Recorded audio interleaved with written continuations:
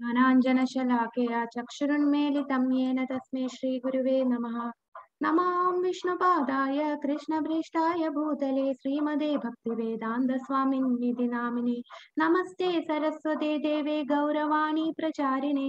निर्विशेषशून्यवादि पाश्चात्यदेशतारिणे ജയ ശ്രീകൃഷ്ണ ചൈതന്യ പ്രഭു നിത്യാനന്ദ ശ്രീ അദ്വൈത ഗതാധര ശ്രീവാസാദി ഗൗരഭക്തവൃന്ദ ഹരേ കൃഷ്ണ ഹരേ കൃഷ്ണ കൃഷ്ണ കൃഷ്ണ ഹരേ ഹരേ ഹരേ രാമ ഹരേ രാമ രാമ രാമ ഹരേ ഹരേ ഹരേ കൃഷ്ണ ഹരേ കൃഷ്ണ കൃഷ്ണ കൃഷ്ണ ഹരേ ഹരേ ഹരേ രാമ ഹരേ രാമ രാമ രാമ ഹരേ ഹരേ ഹരേ കൃഷ്ണ ഹരേ കൃഷ്ണ കൃഷ്ണ കൃഷ്ണ ഹരേ ഹരേ ഹരേ രാമ ഹരേ രാമ രാമ രാമ ഹരേ ഹരേ ഹരേ കൃഷ്ണ അപ്പൊ ഇന്ന് നമ്മൾ അധ്യായം ആറിലാണ്. അധ്യായം ആറ് അധ്യായം ആറ് ധ്യാനയോഗം.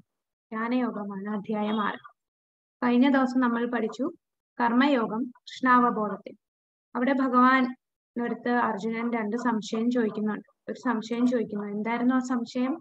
ഓർമ്മയുണ്ടോ? ആ സംശയം എന്തായിരുന്നു? ഭഗവാന്റെ അടുത്ത് ചോദിച്ച് ആദ്യത്തെ അധ്യായത്തിൽ ചോദിക്കുന്നു.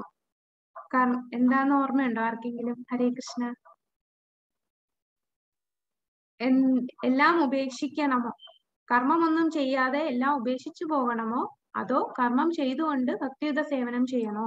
എന്നായിരുന്നു കർമ്മം ചെയ്തുകൊണ്ട് ഭക്തിയുത സേവനം ചെയ്യണം? അതെ അതെ. അതായിരുന്നു ഭഗവാൻ പറഞ്ഞത് ഏറ്റവും ഉത്തമം. കർമ്മം ചെയ്ത് ഭക്തിയുത സേവനം ചെയ്യണം. ഹരേ കൃഷ്ണ. ഇനി അടുത്ത അധ്യായത്തിലാണ് ധ്യാനയോഗം ധ്യാനയോഗം എന്താണെന്ന് നോക്കാം. ആദ്യത്തെ ശ്ലോകം. ശ്രീ ഭഗവാനുവാച അനാശ്രിത കർമ്മ ഫലം കാര്യം കർമ്മ കരോതിയ സസന്യാസി ച യോഗി ച നിരഗ്നിർന ചാക്രിയ ശ്രീ ഭഗവാൻ പറഞ്ഞു കർമ്മത്തിന്റെ ഫലത്തിൽ ആസക്തി ഇല്ലാതെ ധാർമ്മിക ബാധ്യത എന്ന നിലയിൽ കർമ്മം ചെയ്യുന്ന ആളാണ് സന്യാസി. അയാളാണ് യഥാർത്ഥ യോഗി അല്ലാതെ അഗ്നിഹോത്രം ഉപേക്ഷിച്ചവനെയോ കടമ നിർവഹിക്കാത്തവനോ അല്ല. അപ്പൊ ഭഗവാൻ പറയുന്നു എല്ലാം ഉപേക്ഷിച്ചു പോകുന്നവനല്ല. ഇവിടെയും ഭഗവാൻ പറയാണ് എല്ലാം ഉപേക്ഷിച്ചു പോകുന്നവനല്ല ശരിക്കും ഒരു യോഗി. യഥാർത്ഥ യോഗി എന്ന് പറയുന്നത് എന്താണ്? കടമയൊന്നും നിർവഹിക്കാതെ എല്ലാം ഉപേക്ഷിച്ചു പോകുന്നവനല്ല യഥാർത്ഥ യോഗി. കർമ്മത്തിന്റെ ഫല കാംക്ഷിക്കാതെ കർമ്മത്തിന്റെ ഫലം കാംക്ഷിക്കാതെ അതിൽ ആസക്തി കൂടാതെ ധാർമ്മികമായിട്ട് ഇതെന്റെ ബാധ്യതയാണ് എന്നുള്ള നിലയിൽ നമ്മൾ കർമ്മം ചെയ്യണം. അതാണ് യഥാർത്ഥ സന്യാസി യഥാർത്ഥ യോഗിയും എന്ന് ഭഗവാൻ പറയും. ഇനി നമ്മൾ യോഗ എന്താണെന്നാണ് നോക്കുന്നത്. യോഗ എല്ലാവർക്കും അറിയാം യോഗ എന്താണെന്ന്. നമ്മൾ എന്തിനാണ് യോഗ ചെയ്യുന്നത്? അൺമ്യൂട്ട് ചെയ്ത് പറഞ്ഞോളൂ. യോഗ എന്ന് പറഞ്ഞാൽ നമ്മൾ എന്തിനാണ് ചെയ്യാറ്? ആരോഗ്യത്തിന് വേണ്ടിയിട്ട്. നമ്മളുടെ ഒരു ഫിസിക്കൽ എക്സസൈസ് ആയിട്ടാണ് എല്ലാവരും എടുക്കുന്നത് യോഗ. ശരിക്കും ഉള്ള യോഗ അതല്ല. ശാസ്ത്രങ്ങളിൽ ശാസ്ത്രങ്ങളിൽ പറയുന്ന യോഗ എന്ന് പറയുന്നത് നമ്മളുടെ ശരീരത്തിന്റെ ശരീരഘടന നേരെയാക്കാനോ അല്ലെ നമ്മളുടെ ആരോഗ്യത്തിന് വേണ്ടിയോ ചെയ്യുന്ന ഒരെണ്ണം അല്ല യോഗ. ഇവിടെ ഒരു വ്യക്തിയെ കാണാം. എത്ര തണുപ്പുള്ള സ്ഥലത്ത് വസ്ത്രം ധരിക്കാതെ ഇങ്ങനെ നിൽക്കുകയാണ്. അപ്പൊ എല്ലാത്തിനെയും കൺട്രോൾ ചെയ്യാൻ പറ്റുന്ന ആ തണുപ്പിനെയും ചൂടിനെയും ശരീരത്തിന് സഹിക്കാൻ പറ്റുന്ന രീതിയിലാക്കി തീർക്കുന്നത്. അതാണോ യോഗ. ഇതെല്ലാം ഓരോ യോഗാസനം ചെയ്യുകയാണ്. തല മണ്ണിന്റെ അടിയിൽ കുഴിച്ചു വെക്കുന്നു അതായത് ശ്വാസം അത്രയും നിയന്ത്രിച്ചിരിക്കുന്നു. അതാണോ യോഗ? അതോ ഈ കാണുന്നതാണോ യോഗ എന്ന് പറയുന്നത്? പലതരം യോഗയുണ്ട്. ബിയർ യോഗ. വിദേശ രാജ്യങ്ങളിലുള്ള യോഗയാണ്. അവർ യോഗ ചെയ്ത് അവസാനം ബിയർ കുടിക്കുകയാണ്. പിന്നെ ഗോട്ട് യോഗ. ഗോട്ട് യോഗ എന്ന് പറയുമ്പം ഇവിടെ ചെയ്യുന്നത് ഒരു ഒരു ആടിനെ ഇങ്ങനെ കുനിഞ്ഞു നിന്ന് ആടിനെ കൊണ്ട് ചവിട്ടിക്കും. അങ്ങനെ നട്ടലിനൊക്കെ നല്ല സുഖം കിട്ടാൻ വേണ്ടി ചെയ്യുന്നതാണ് ഗോട്ട് യോഗ. പിന്നെ ചെയർ യോഗ. ഇപ്പോഴത്തെ ഒരു സാഹചര്യത്തിൽ എല്ലാവരും കമ്പ്യൂട്ടറിന്റെ മുമ്പിൽ ചെയറിൽ തന്നെ ഇരുന്ന് ഓരോന്ന് ചെയ്യുമ്പോൾ അവർക്കൊരു എക്സസൈസ് എന്ന പോലെ ചെയർ യോഗ. എന്തെല്ലാം യോഗകളുണ്ട്? Business yoga pregnancy yoga mental ഹെൽത്തിന് യോഗ. ഈ ആദ്യത്തെ പിക്ചറിൽ കാണിച്ചിരിക്കുന്നത് പണ്ട് ഒരാൾ യോഗാസനം ചെയ്തതാണ്. ഭഗവാന് ബ്രഹ്മാവിനെ തപസ് ചെയ്തത്. അത് ഹിരണ്യകശിപു ആ വരത്തിന് വേണ്ടി ബ്രഹ്മാവിനെ തപസ് ചെയ്ത അതൊരു യോഗ ആയിരുന്നു അവിടെ ചെയ്തത്. പിന്നെ cat yoga chair yoga dancing yoga എന്തെല്ലാം തരം യോഗ പലതരം യോഗകളുടെ പുസ്തകം നമുക്കിപ്പോ സമൂഹത്ത് വിപണിയിൽ കിട്ടുന്നുണ്ട് വിപണിയിൽ. പക്ഷെ ഇതൊക്കെയാണോ യഥാർത്ഥത്തിൽ യോഗ എന്ന് പറയുന്നത്? ശരിക്കും ഉള്ള യോഗ എന്ന് പറഞ്ഞാൽ ഭഗവാനുമായി ബന്ധിക്കുന്നതാണ് യോഗ ഭഗവാനുമായി ബന്ധിക്കുന്ന നമ്മൾ പക്ഷെ ഇപ്പം സമൂഹത്തിൽ നടക്കുന്ന ഒന്നും ഭഗവാനെ ബന്ധിപ്പിക്കുന്ന യോഗകളല്ല എല്ലാം വെറുതെ ശരീരത്തിന്റെ സുഖത്തിന് വേണ്ടി ചെയ്യുന്ന യോഗകളാണ് ഈ ഒരു കാലഘട്ടത്തിൽ നമുക്ക് കണ്ടുകൊണ്ടിരിക്കുന്നത്.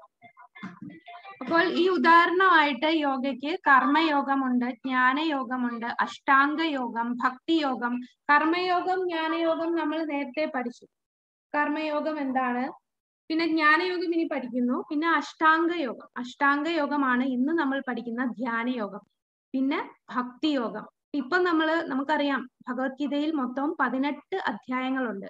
അതിനെ മൂന്നായിട്ട് തിരിക്കാം. ആറ് ആറ് ആറായിട്ട് മൂന്നായിട്ട് തിരിക്കാം. അപ്പൊ ഇന്ന് നമ്മൾ ഒരു സെക്ഷൻ തീരുകയാണ്. ഇന്ന് ആറാമത്തെ അധ്യായം എന്ന് പറയുമ്പോൾ നമ്മൾ കർമ്മയോഗം തീരുന്നു. നാളെ മുതൽ നമ്മൾ ഭക്തി യോഗമാണ് തുടങ്ങുന്നത്. അപ്പൊ ഭക്തി യോഗം തുടങ്ങുന്നതിന് മുമ്പ് ആയിട്ട് അർജുനൻ ഒരു ചോദ്യം ചോദിക്കും. അതാണ് നമ്മൾ ഇനി കാണാൻ പോകുന്നത്. അപ്പോൾ യോഗ എന്ന് പറയുന്നത് നമ്മളിപ്പോൾ സമൂഹത്ത് കാണുന്ന ആ യോഗയൊന്നുമല്ല ദൈവവുമായി ബന്ധിപ്പിക്കുന്നത് അതാണ്. കണക്ടിങ് ടു ഗോഡ് അതാണ് യോഗാസനം എന്ന് പറയുന്നത് നമ്മൾ ചെയ്യേണ്ടത്. ഭഗവാനുമായിട്ട് ബന്ധിപ്പിക്കാനാണല്ല നമ്മളുടെ ശരീരത്തിന്റെ ശരീരത്തിന് വേണ്ടി ചെയ്യുന്ന ഒന്നല്ല. ഭഗവാനുമായിട്ട് ആ ഒരു ബന്ധം കിട്ടാൻ നമ്മൾ എന്താണ് ചെയ്യുന്നത്? അതാണ് യോഗ. ഇതാണ് അഷ്ടാംഗ യോഗ. അപ്പൊ നമുക്ക് നോക്കാം. അഷ്ട അംഗ. അഷ്ട എന്ന് പറഞ്ഞാൽ എട്ട് എട്ട് അംഗങ്ങൾ ഓട് കൂടിയതാണ് അഷ്ടാംഗ യോഗ.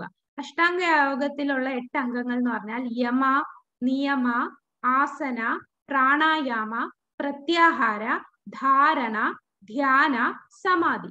ഇങ്ങനെ എട്ട് അംഗങ്ങൾ ചേർന്നതാണ് അഷ്ടാംഗ യോഗ.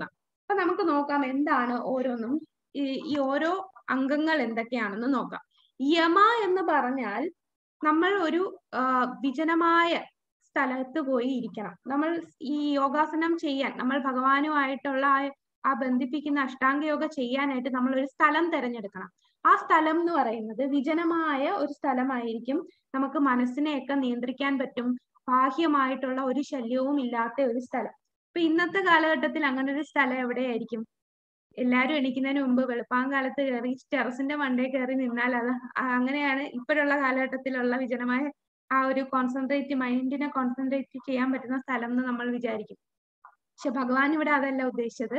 കാട്ടിൽ പോയി ഇരുന്ന് തപസ് ചെയ്യണം. കാട്ട് ഇപ്പൊ കാട് എന്ന് പറയുന്നത് വളരെ കാടേ ഇല്ല. ഇപ്പൊ കാടെന്ന് എല്ലാം വെട്ടിത്തെളിച്ച് എല്ലാരും എന്താണ് വീടെല്ലാം നിർമ്മിച്ചുകൊണ്ടിരിക്കുകയാണ് അപ്പോൾ ഭഗവാൻ ഇവിടെ ഉദ്ദേശിക്കുന്ന യമ എന്ന് പറഞ്ഞാൽ അവിടെ നമ്മൾ കാട്ടിൽ പോയി തപസ് ചെയ്യണം. ഇതിൽ അടുത്ത പിക്ചറിൽ കാണാം. കണ്ടോ? ഇതുപോലെ സെക്ലൂഡഡ് ആയിട്ടുള്ള പ്ലേസ് അതായത് വേറെ ശല്യമൊന്നും ഇല്ലാതെ മനസ്സിനെ നിയന്ത്രിക്കാൻ പറ്റുന്ന ഒരു സ്ഥലം. അതാണ് യമ ഇനി നിയമ എന്ന് പറഞ്ഞാൽ നമ്മൾ നമ്മളുടെ നമ്മളുടെ ഓരോ ശീലങ്ങൾ നിയന്ത്രിക്കണം. അതായത് ആഹാരം കഴിക്കുന്നത് നമ്മളുടെ ഉറക്കത്തെ നിയന്ത്രിക്കണം നമ്മൾ കഴിക്കുന്ന ആഹാരത്തിനെ നിയന്ത്രിക്കണം നമ്മളുടെ പ്രവർത്തികൾ നിയന്ത്രിക്കണം. അതാണ് നിയമ. ഇനി ആസന എന്ന് പറഞ്ഞാൽ ആസനം. നമ്മൾ ഇരിക്കുന്ന എങ്ങനെയാണെന്നാണ് നോക്കുന്നത്. ആസന എന്ന് പറയുമ്പോൾ നമ്മൾ ഒരു അധികം പൊക്കവുമല്ല അധികം താഴ്ന്നോ അല്ലാത്ത ഒരു സ്ഥലം തിരഞ്ഞെടുക്കുക. അവിടെ കുശപ്പുല്ല് വിരിച്ച് അതിന്റെ മുകളിൽ ഒരു മാനിന്റെ തോൽ വിരിക്കണം. ആ മാനിന്റെ തോൽ വിരിച്ചതിന് ശേഷം അതിന്റെ മുകളിൽ നമ്മൾ നിവർന്നിരിക്കണം. ഇരിക്കുന്നത് എങ്ങനെയാണ്? നമ്മളുടെ നട്ടലെല്ലാം നിവർത്തി നമ്മളുടെ ഈ നമ്മളുടെ കഴുത്തെല്ലാം നേരെ വെച്ച് ഒരു സ്ട്രെയിറ്റ് ആയിട്ട് നിവർന്നിരിക്കണം. അങ്ങനെ ഇരിക്കാൻ എല്ലാവർക്കും പറ്റുമോ സ്ട്രെയിറ്റ് ആയിട്ട് നല്ല നിവർന്ന് ഇരുന്ന് അതിനുശേഷം നമ്മളുടെ ഈ രണ്ട് കണ്ണ് കണ്ണുകൾ ഈ മൂക്കിന്റെ അറ്റത്തോട്ട് നമ്മൾ കേന്ദ്രീകരിക്കണം. മൂക്കിന്റെ അറ്റത്ത് ഈ കണ്ണുകളെ കേന്ദ്രീകരിക്കുകയാണ്.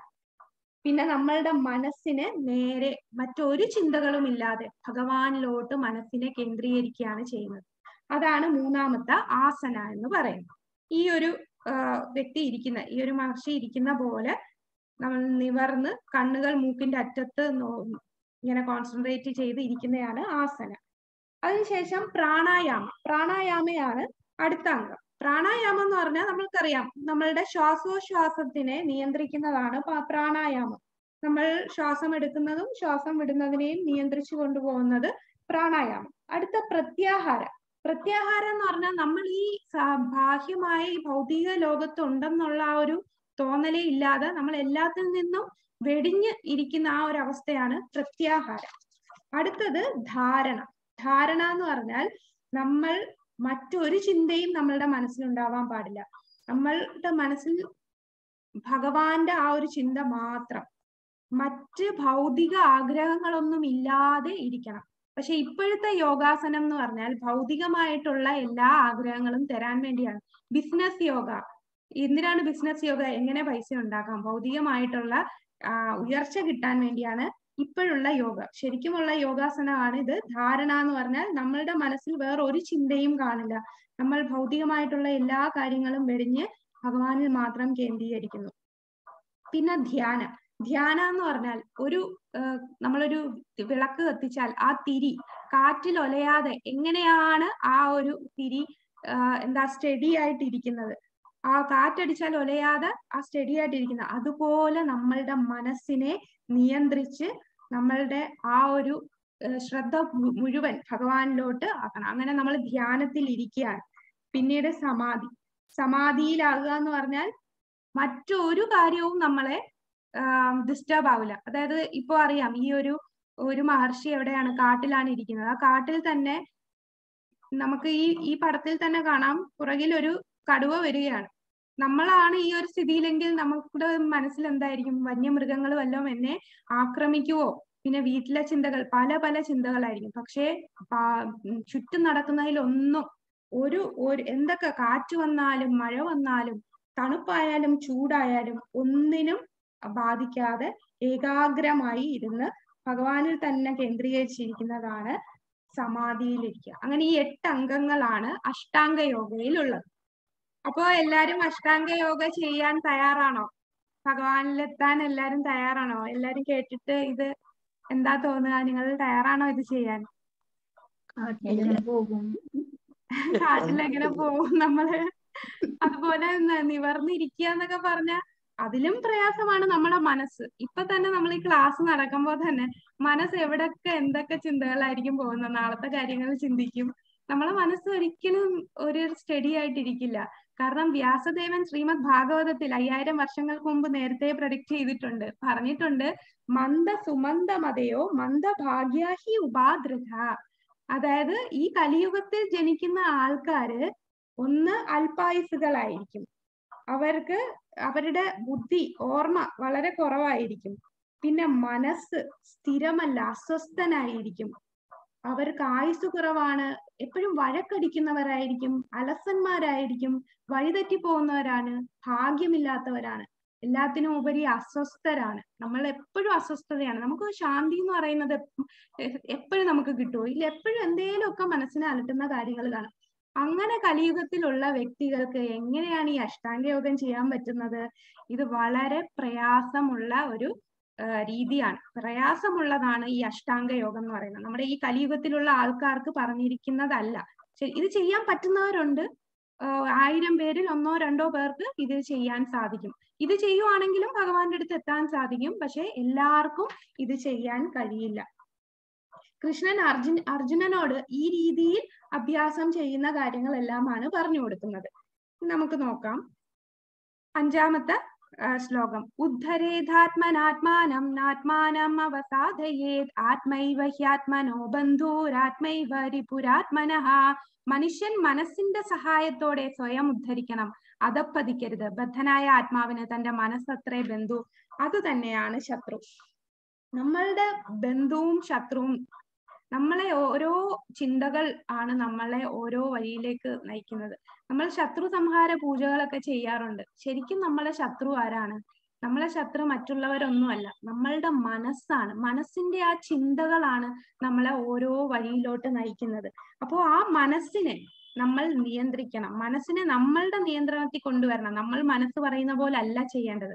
മനസ്സിനെ നമ്മളാണ് കൺട്രോൾ ചെയ്യേണ്ടത്.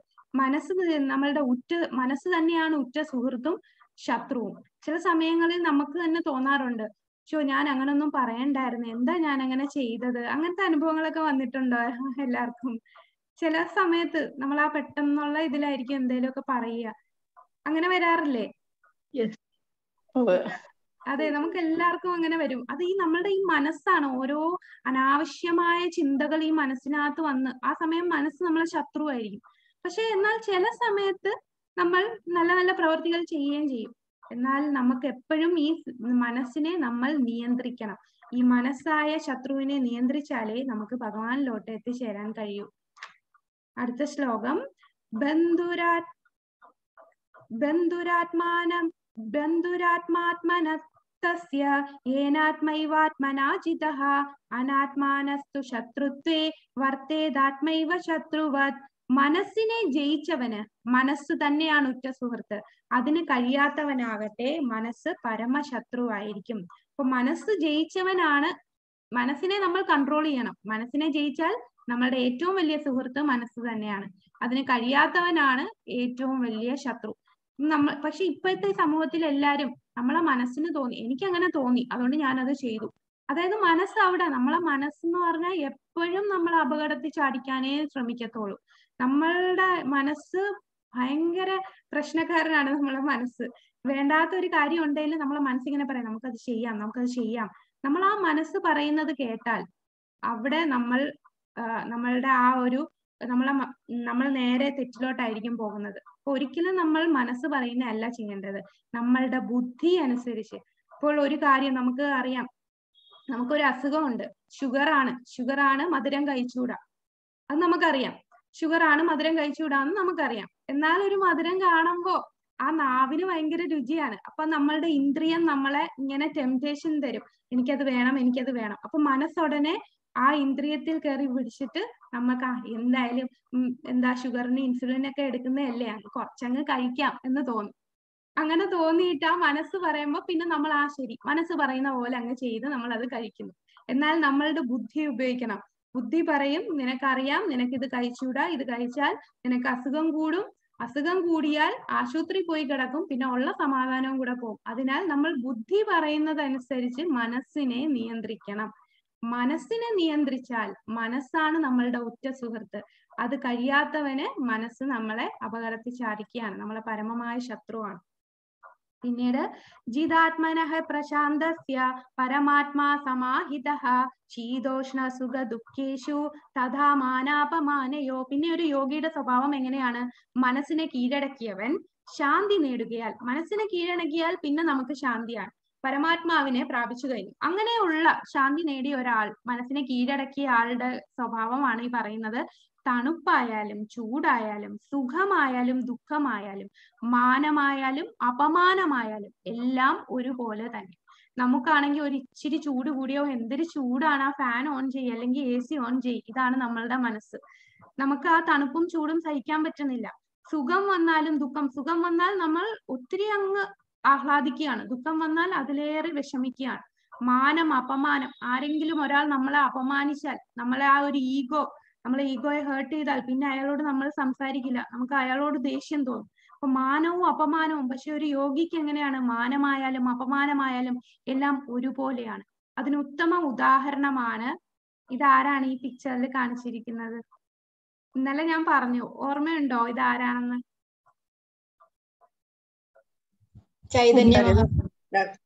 ഹരിദാസ് താക്കൂർ ഹരിദാസ് താക്കൂർ ആ ഹരി ബോൾ ഹരിദാസ് താക്കൂർ ഹരിദാസ് താക്കൂർ ഹരിദാസ് താക്കൂർ ആരായിരുന്നു എന്നാണ് പറഞ്ഞത്? ഹരിദാസ് താക്കൂർ ആരാണ്? ബ്രഹ്മാവാണ് ഹരിദാസ് താക്കൂർ ബ്രഹ്മാവ് തന്നെയാണ് ഹരിദാസ് താക്കൂറായിട്ട് വന്നത്. ബ്രഹ്മാവ് സ്വയം വന്നതാണ്. ഈ കലിയുഗത്തിൽ ബ്രഹ്മാവ് ഹരിദാസ് താക്കൂറായിട്ട് അഞ്ഞൂറ് വർഷങ്ങൾക്ക് മുമ്പ് ജന്മമെടുത്തതാണ്. അപ്പൊ നമുക്കറിയാം ഹരിദാസ് താക്കൂർ മൂന്ന് ലക്ഷം ഹരിയുടെ നാമം ജപിക്കും. ഒരു മുസൽമാനായിട്ടാണ് അദ്ദേഹം ജനിച്ചത്. അയാൾ എത്ര ആൾക്കാര് നമ്മളെ ഹരിദാസ് താക്കൂറിനെ അപമാനിച്ചിട്ടുണ്ട്. ഉയർന്ന ബ്രാഹ്മണ കുലത്തിൽ ജനിച്ചവരെല്ലാം ഹരിദാസ് താക്കൂറിനെ ശരിക്കും അപമാനിക്കും. നിനക്ക് എന്ത് യോഗ്യതയുണ്ട്? ഒരു മുസൽമാനായിട്ട് ജനിച്ച നിനക്ക് എന്ത് യോഗ്യതയുണ്ട് ഹരിയുടെ നാമം ജപിക്കാൻ? ഈ അഞ്ഞൂറ് വർഷങ്ങൾക്ക് മുമ്പ് തൊട്ടുകൂടാത്തവരൊക്കെ അതായത് താഴ്ന്ന ജാതിയിലുള്ള ആൾക്കാർ തൊടുന്നതും എല്ലാം ഒരു അശുദ്ധമായി കണക്കാക്കുന്ന ഒരു കാലഘട്ടമായിരുന്നു. അവരുടെ നോട്ടം പോലും അശുദ്ധമാണ്. താഴ്ന്ന ജാതിയിലുള്ളവർക്ക് ക്ഷേത്രങ്ങളിൽ പോകാൻ സാധിക്കില്ല. ആ ഒരു കാലഘട്ടത്തിലാണ് ഹരിദാസ് താക്കൂർ എന്ന മുസ്ലിമായി ജനിച്ച ഒരു ആൾ ഈ ഹരിയുടെ നാമം ഇങ്ങനെ ചൊല്ലി. അദ്ദേഹത്തിന് എത്രയൊക്കെ വിഷമങ്ങൾ ഉണ്ടായാലും അദ്ദേഹം ആ അപമാനങ്ങളെല്ലാം സഹിക്കുമായിരുന്നു. അങ്ങനെ ആ സമയത്ത് ആ സമയത്ത് രാജ്യം ഭരിച്ചിരുന്നത് ഖാസി ആയിരുന്നു അതായത് നവാബ് മുസ്ലിം രാജ്യഭരണമായിരുന്നു. മുഗൾസ് ഒക്കെ ഭരിക്കുന്ന കാലഘട്ടമായിരുന്നു. അപ്പോൾ ആ സമയത്തുള്ള ഭരണാധികാരിയായ ഖാസി നവാബ്. ഖാസിയും നവാബും കൂടെ ചേർന്ന് ഹരിദാസ് താക്കൂറിനെ വിളിച്ചിട്ട് പറയും നീ ഒരു മുസൽമാനാണ്. നീ എന്തിനാണ് ഹരിയുടെ നാമം ജപിക്കുന്നത്? നമ്മൾക്ക് ഖുറാൻ ഉണ്ടല്ലോ. ഖുറാനിൽ അള്ളാന്റെ നാമം അല്ലേ ജപിക്കേണ്ടത്? എന്ന് ചോദിക്കും. അപ്പോൾ ഹരിദാസ് താക്കൂർ പറയും അള്ളാന്റെ നാ- നാമവും ഹരിയുടെ നാമവും എല്ലാം ഒന്ന് തന്നെയല്ലേ? എല്ലാം ദൈവമെല്ലാം ഒന്ന് തന്നെയാണ്. പല ജാതിയിലുള്ളവർ പല പല പേരിൽ ഭഗവാനെ വിളിക്കുന്നു. എല്ലാ നാമവും ഒന്ന് തന്നെയാണ്. അതേ ഭഗവാൻ തന്നെയാണ് നമ്മളുടെ എല്ലാവരുടെയും ഹൃദയത്തിൽ സ്ഥിതി ചെയ്യുന്നത്. എല്ലാരും പല രീതിയിൽ ആരാധിക്കുന്നു എന്നേ ഉള്ളൂ. അപ്പം നവാബ് പറയും എങ്കിൽ നീ എന്തുകൊണ്ട് നമ്മളുടെ ജാതിയിലുള്ള ഭഗ- ആ ദൈവത്തെ വിളിച്ചൂടാ? നീ ഇനി ഹരിയുടെ നാമം ചൊല്ലിയാൽ നിന്നെ ഇനി ഞങ്ങൾ ശിക്ഷിക്കും. അതിലേറെ വലിയ ശിക്ഷ നീ നേരിടേണ്ടി വരുമെന്ന് പറയും. അപ്പോൾ ഹരിദാസ് താക്കൂർ പറയും എന്നെ കഷ്ണങ്ങളായിട്ട് മുറിച്ചാലും എന്റെ ജീവൻ പോയാലും ഞാൻ ഹരിനാമം ഒരിക്കലും വെടിയില്ല.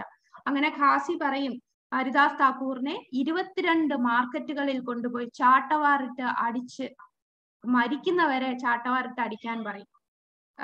എന്നിട്ടും മരിച്ചില്ലെങ്കിൽ ഞാൻ സമ്മതിക്കാം ഈ ഇത് അത്രയും ഉയർന്ന ഒരു യോഗിയാണെന്നും ഹരിനാമത്തിന് അത്രയും ശക്തി ഉണ്ടെന്ന് ഞങ്ങൾ തീരുമാനിക്കാം എന്ന് പറയും.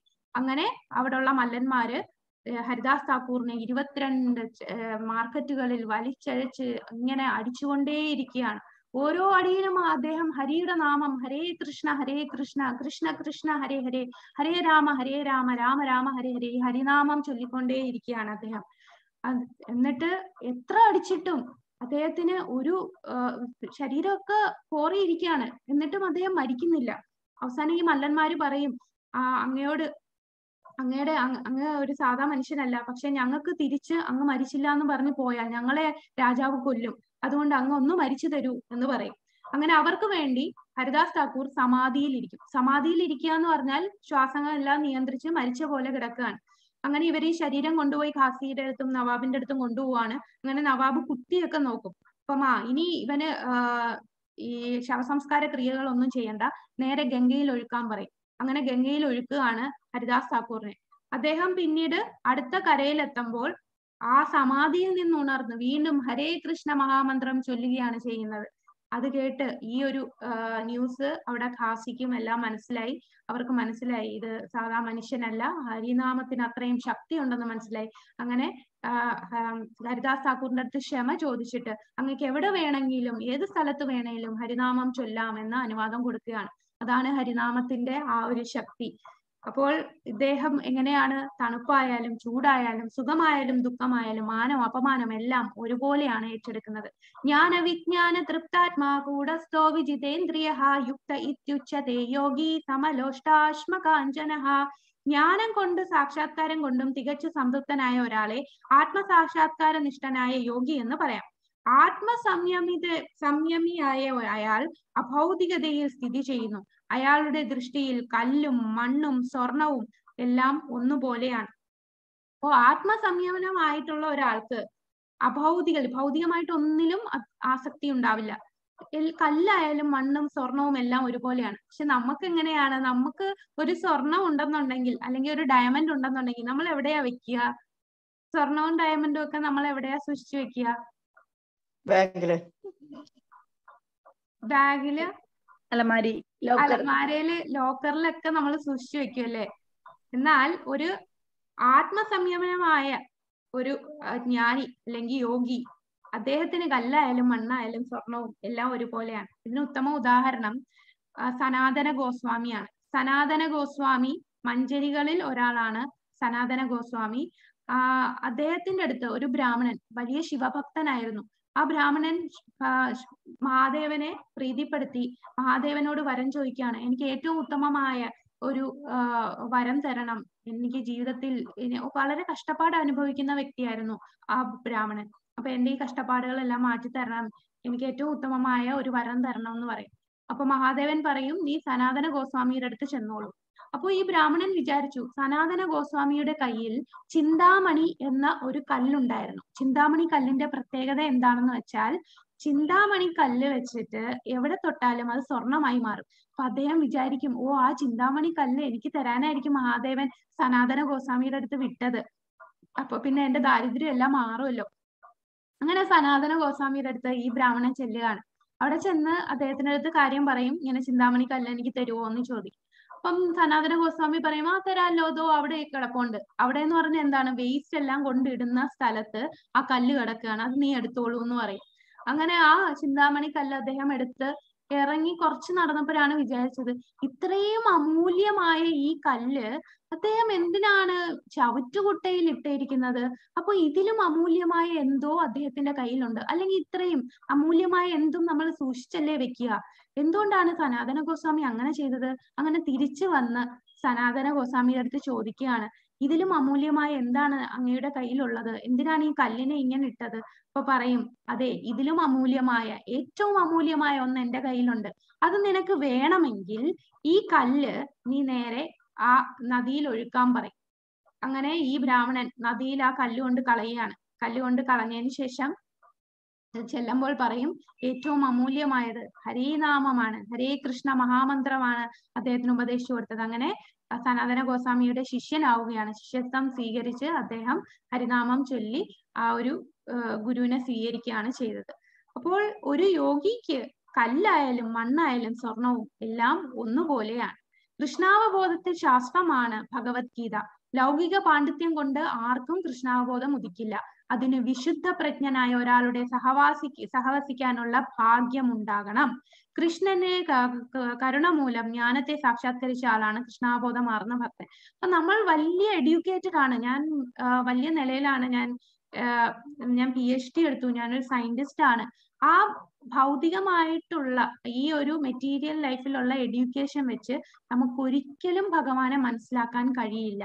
കൃഷ്ണാവബോധം എന്ന ശാസ്ത്രത്തെ പാണ്ഡിത്യം കൊണ്ട് ആർക്കും പാണ്ഡിത്യം ഉള്ള ഉള്ളത് കൊണ്ട് മാത്രം ആർക്കും കൃഷ്ണാബോധം ഉദിക്കില്ല. അതിന് നമുക്ക് ആരുമായിട്ട് ഒരു ഭക്തനുമായിട്ടുള്ള സഹവാസം വേണം. അത്രയും ഭക്തിയുള്ളവരിൽ നിന്ന് മാത്രം നമ്മളുടെ ഉള്ളിൽ ആ ഭക്തി ഉണർന്നാലേ നമുക്ക് കൂടുതൽ കൂടുതൽ ഭഗവാനെ മനസ്സിലാക്കാൻ കഴിയൂ. അല്ലാതെ ഇതെന്താണ്? ഭഗവത്ഗീതയിലെ ഓരോ ശ്ലോകങ്ങൾ പഠിക്കുകയും അതിന്റെ ഇത് പഠിക്കുകയും അത് ചൊല്ലാൻ പഠിക്കുകയും ചെയ്തിട്ട് ഒരു കാര്യമില്ല നമ്മൾ ഹരിനാമം ചൊല്ലി ഹരേ കൃഷ്ണ മാമന്ത്രം ചൊല്ലിയാൽ മാത്രമേ കാരണം ഈ ശ്ലോകം വായിക്കുമ്പോൾ പല പല അർത്ഥങ്ങൾ നമുക്ക് വരും. ശരിക്കും ഭഗവാൻ ഉദ്ദേശിച്ച അർത്ഥം എന്താണ് എന്ന് നമുക്ക് മനസ്സിലാവണമെങ്കിൽ വിശുദ്ധ പ്രജ്ഞനായ അത്രയും ഭക്തനായ ഒരു ഭക്തന്റെ നിന്ന് നമ്മൾ മനസ്സിലാക്കിയാൽ മാത്രമേ ഭഗവാനെ ശരിക്കും അറിഞ്ഞ ഒരു ആ ഒരു ഗുരു ശിഷ്യ പരമ്പരയിൽ നിന്ന് മാത്രമേ നമുക്കിത് മനസ്സിലാക്കാൻ പറ്റൂ. അങ്ങനെ കൃഷ്ണന്റെ കരുണ മൂലം മാത്രമേ നമുക്ക് ആ ജ്ഞാനത്തെ സാക്ഷാത്കരിക്കാൻ പറ്റൂ. ശുദ്ധ ഭക്തി പൂർവകമായ സേവനത്താൽ സംതൃപ്തനായ അയാൾ ജ്ഞാന സാക്ഷാത്കാരം ഒരാളെ പൂർണതയിൽ എത്തിക്കുന്നു അപ്പൊ ശുദ്ധ ഭക്തിയാണ് ഭക്തി സേവനമാ സേവനം മാത്രമാണ് അദ്ദേഹത്തിന് സംതൃപ്തനാക്കുന്നത്. വേറെ എന്തൊക്കെ ഭൗതികമായിട്ടുള്ള എന്തൊക്കെ ഐശ്വര്യങ്ങൾ ഉണ്ടെങ്കിലും അദ്ദേഹം ഒരിക്കലും തൃപ്തനായിരിക്കില്ല. ഭക്തിയുത സേവനത്തിൽ മാത്രമേ തൃപ്തനാകൂ. ഈ പിക്ചറിൽ കാണിച്ചേക്കുന്ന ആരാന്ന് മനസ്സിലായോ? ഒരു കുട്ടി വേറെ കുട്ടികൾക്കെല്ലാം ആധ്യാത്മിക ഭക്തി ഭക്തിയെ കുറിച്ച് പറഞ്ഞു കൊടുക്കുകയാണ്. അതാരാണ്? കുട്ടിക്കാലത്തെ പ്രഹ്ലാദനാണോ? അതെ മാതാജി. ഹരിബോൽ പ്രഹ്ലാദൻ. ഇത് പ്രഹ്ലാദ മഹാരാജാവാണ്. പ്രഹ്ലാദ് മഹാരാജാവ് ജനിച്ചപ്പോൾ തന്നെ അമ്മയുടെ വയറ്റിൽ കയാതുവിന്റെ വയറ്റിൽ കിടന്നപ്പോൾ തന്നെ നാരദ മുനിയുടെ ഉപദേശം കൊണ്ട് ഭക്തനായതാണ്. അപ്പൊ ശരിക്കും എല്ലാ ശാസ്ത്ര ശാസ്ത്രങ്ങളിലും പറയുന്നു നമ്മൾ ഭക്തി തുടങ്ങേണ്ടത് എപ്പോഴാണ്? കുട്ടിക്കാലത്തെ നമ്മൾ ഭക്തിയുത സേവനം തുടങ്ങണം. പക്ഷെ നമ്മൾ എന്താണ് ചെയ്യുന്നത്? നമ്മൾ എല്ലാ ബാധ്യതയും കഴിഞ്ഞ് നമ്മളൊരു റിട്ടയർമെന്റ് ജീവിതം സ്വീകരിക്കുമ്പോൾ അങ്ങനെയുള്ളവർക്കാണ് ഭക്തി. ഈ കുട്ടികൾക്കൊക്കെ എന്തിനാണ് ഭക്തി എന്നാണ് എല്ലാരും ചിന്തിക്കുന്നത്. പക്ഷെ ശാസ്ത്രങ്ങൾ പറയുന്നുണ്ട് നമ്മൾ ഈ കുട്ടിക്കാലത്തെ ഭക്തിയുത സേവനം തുടങ്ങണം. ധ്രുവ മഹാരാജാവ് അതിനൊരു ഉത്തമ ഉദാഹരണമാണ്. നമ്മളെ പ്രഭുപാദർ ശ്രീല പ്രഭുപാദർ കൊച്ചിലെ തന്നെ ഒരു വൈഷ്ണവ കുടുംബത്തിലാണ് ജനിച്ചത്. അദ്ദേഹവും ചെറുപ്പത്തിൽ തന്നെ ആ ഭക്തിയുത സേവനം ചെയ്യുന്നുണ്ട്. ഇപ്പൊ തന്നെ നമുക്കറിയാം എത്ര എത്ര കുഞ്ഞുങ്ങളാണ് വൈഷ്ണവ കുടുംബത്തിൽ ആ കുട്ടിക്കാലത്ത് തന്നെ ഹരിനാമം സ്വീകരിച്ച് ഹരിനാമം ചൊല്ലാൻ തുടങ്ങിയത്. അതെല്ലാം അതാണ് ശരിക്കും ശാസ്ത്രങ്ങൾ ഉപദേശിച്ചിട്ടുള്ളത്. ഭക്തി രസാമൃത സിന്ധുവിൽ പറയുന്നു അത ശ്രീകൃഷ്ണ നാമാധീന നദവേദ് ഗ്രാഹ്യമിന്ദ്രിയൈ സേവോന്മുഖേ ഹി ജിഹ്വാദോ സ്വയമേവ സ്ഫുരത്യതഃ ഭൗതിക മാലിന്യം പൂണ്ട ഇന്ദ്രിയങ്ങളാൽ കൃഷ്ണന്റെ നാമം രൂപം ഗുണം ലീല എന്നിവയുടെ സ്വഭാവം ആർക്കും ഗ്രഹിക്കാൻ പറ്റില്ല. നമ്മൾ ഭഗവാനെ കുറിച്ച് പറഞ്ഞാലും രാധാകൃഷ്ണന്റെ ആ ഒരു ഭാവത്തെ കുറിച്ച് നമ്മൾ ഭൗതികവാദികൾ അടുത്ത് പറഞ്ഞു കൊടുത്താൽ അവർ ഇപ്പോഴത്തെ സീരിയലിലും സിനിമയിലും കാണുന്ന ആ ഒരു റിലേഷൻ ആയിട്ട് മാത്രമേ കാണാൻ കഴിയൂ. അവർക്കൊരിക്കലും ഗ്രഹിക്കാൻ കഴിയില്ല.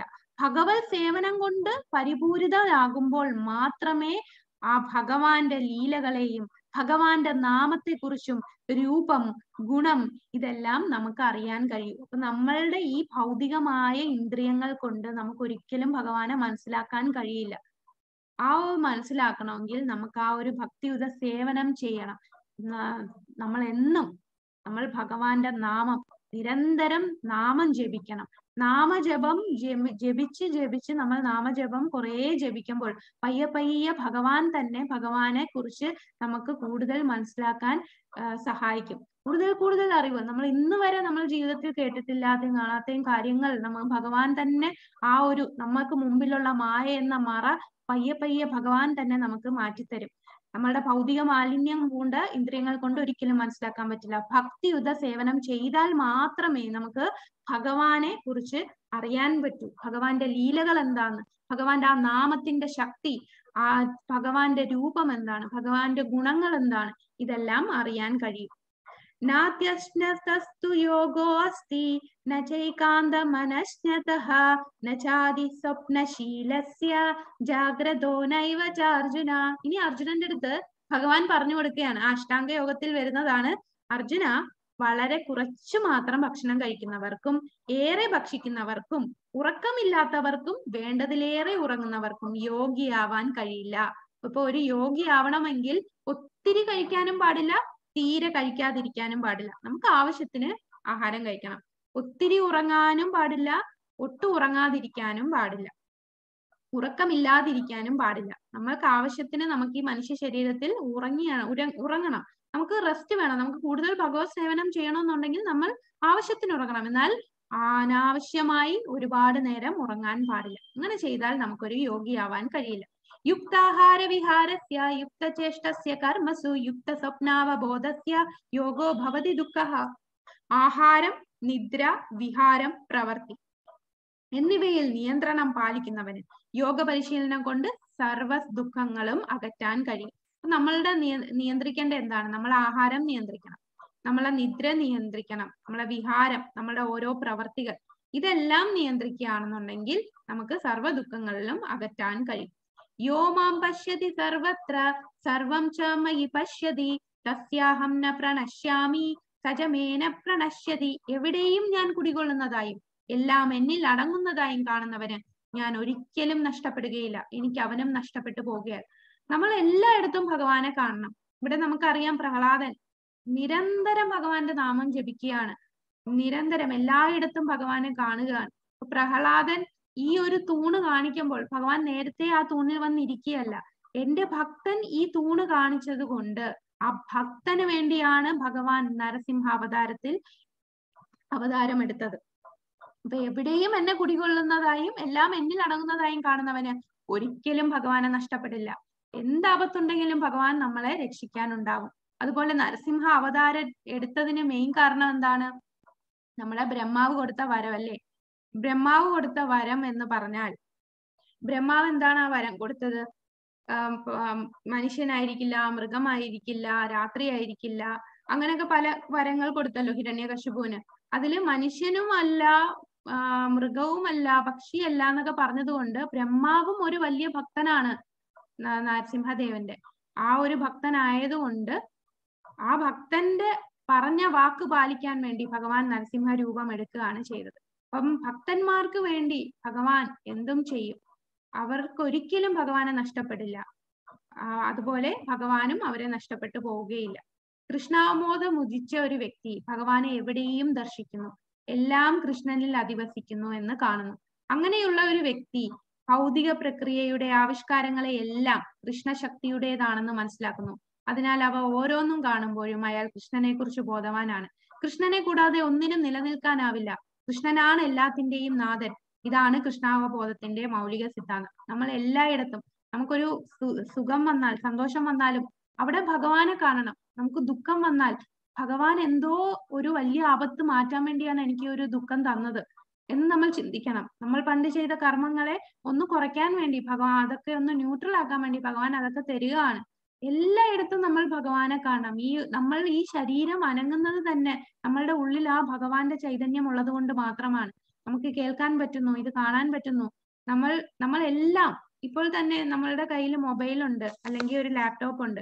ഇത് വെച്ച് എന്തെല്ലാം ചെയ്യാം? സിനിമ കാണാം സീരിയൽ കാണാം വേറെ പല പാട്ടുകൾ കേൾക്കാം. പക്ഷെ നമ്മൾ എന്താണ് ഈ എല്ലാ കാര്യങ്ങളും ചെയ്യുന്നത്? അത് ഭഗവാന്റെ സേവനമായിട്ട് ഉപയോഗിക്കുകയാണ്. അപ്പൊ എല്ലാം ഭഗവാന്റെ ആണെന്നും എല്ലാം ഭഗവാന് വേണ്ടി ഉപയോഗിക്കുകയും ചെയ്താൽ നമ്മ എന്നാൽ നമുക്ക് ഭഗവാനെ ലഭിക്കൂ. ഇതാണ് കൃഷ്ണാവബോധത്തിന്റെ മൗലിക സിദ്ധാന്തം.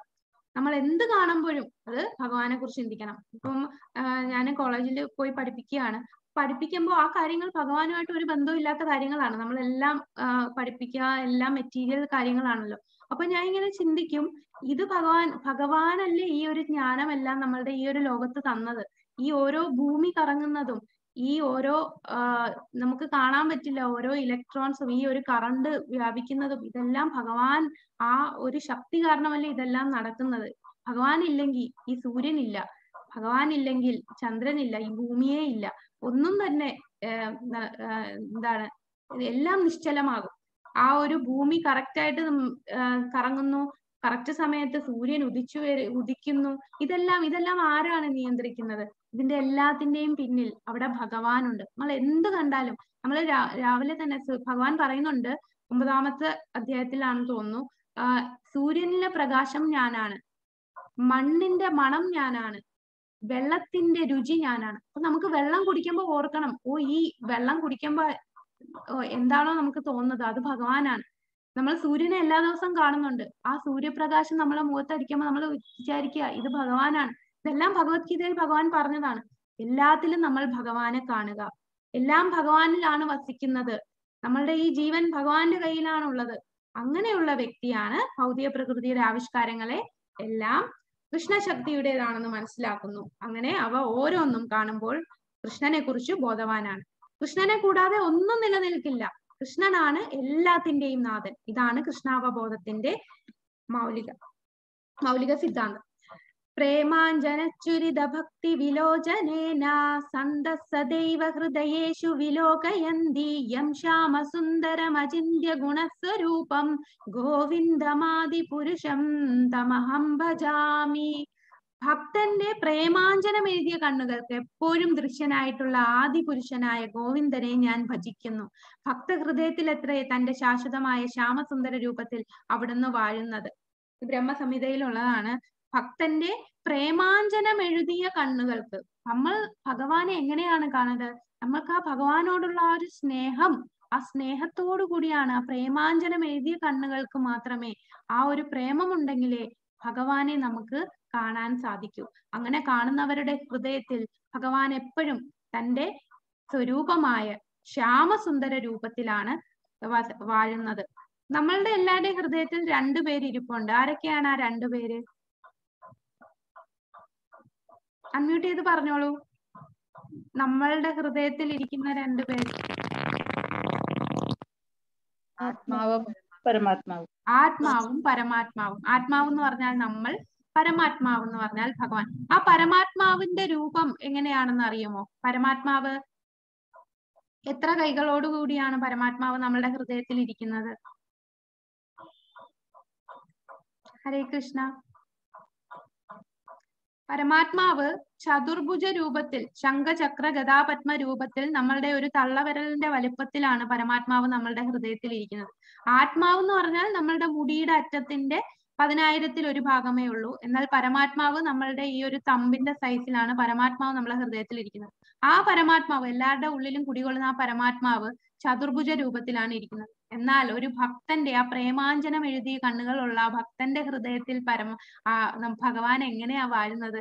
ആ ശ്യാമസുന്ദര രൂപത്തിൽ ശ്യാമസുന്ദരൻ എന്ന് പറഞ്ഞാൽ ആ രണ്ട് കൈകളുള്ള ആ, ഇപ്പോൾ മഴ പെയ്യാൻ പോകുന്ന ആ പുതിയ കാർമേഘത്തിന്റെ നിറത്തിൽ തലയിൽ മയിൽപ്പീലി ചൂടി ഏർ ഊടക്കുഴലേന്തി ആ ശ്യാമസുന്ദര രൂപത്തിലുള്ള ഭഗവാൻ. അതാണ് ഭഗവാന്റെ സ്വരൂപം. പിന്നെ ഭഗവാൻ പല പല വിസ്തരണം എടുത്തിട്ടാണ് മഹാവിഷ്ണു ഒക്കെ ആയി മാറുന്നത്. അത് നിങ്ങൾ അടുത്തതിന്റെ അടുത്ത ക്ലാസ്സിൽ ഗോലോക ചാർട്ട് പഠിക്കും. അമ്മണി മാതാജി പറഞ്ഞു തരും. അതിൽ മനസ്സിലാക്കാം ആരൊക്കെയാണ്. വിഷ്ണു രൂപം തന്നെ പലതുണ്ട്. കാരണോദകശായി വിഷ്ണു ഗർഭോദകശായി വിഷ്ണു ക്ഷീരോദകശായി വിഷ്ണു അങ്ങനെ പല രീതിയിൽ വിഷ്ണു അവതാരം വിഷ്ണു രൂപമെടുക്കുന്നുണ്ട് മഹാവിഷ്ണു. അപ്പോൾ അതാണ് നമ്മളൊരു ഭക്തന്റെ ആ പ്രേമാഞ്ജനം എഴുതിയ കണ്ണുകൾക്ക് മാത്രമേ ഭഗവാനെ കാണാൻ പറ്റൂ. ആ ഭഗവാൻ അവരുടെ ഹൃദയത്തിൽ ശ്യാമസുന്ദര രൂപത്തിലാണ് വാഴുന്നത്. ഇനി നമ്മൾ അർജുനൻ അർജുനൻ ഇപ്പൊ ഈ സംശയങ്ങളെല്ലാം ചോദിച്ചത് ആരാണ്? അർജുനനാണ്. അപ്പൊ അർജുനന്റെ അടുത്ത് ഈ അഷ്ടാംഗ യോഗം ഒക്കെ പറഞ്ഞപ്പോൾ അർജുനൻ പറഞ്ഞു ഭഗവാനെ എനിക്കിത് ചെയ്യാൻ പറ്റില്ല.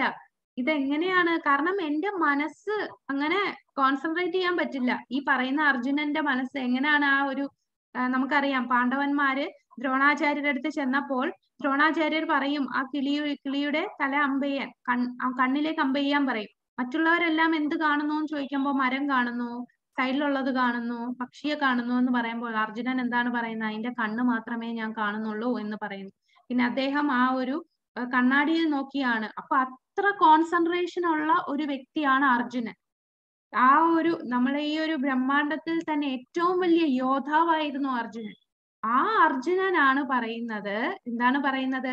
ചഞ്ചലം ഹി മന കൃഷ്ണ പ്രമാദി ബലവത്രിടം തസ്യാഹം നിഗ്രഹം മന്യേ വായോരിവ സുദുഷ്കരം അർജുനൻ പറയാണ് മനസ്സ് ചഞ്ചലമാണ് പ്രക്ഷുബ്ധമാണ് വഴങ്ങാത്തതാണ് ബലമേറിയതുമാണ്. കൃഷ്ണ അതിനെ നിയന്ത്രിക്കാൻ കാറ്റിനെ പിടിച്ചു നിർത്തുന്നതിനേക്കാൾ പ്രയാസമുണ്ടെന്ന് എനിക്ക് തോന്നുന്നു. അപ്പൊ അർജുനൻ തന്നെ ആ അർജുനൻ ഇത്രയും ധീരനായ ഇത്രയും കോൺസെൻട്രേഷൻ ഉള്ള അർജുനൻ പറയാണ് മനസ്സ് ചഞ്ചലമാണ്.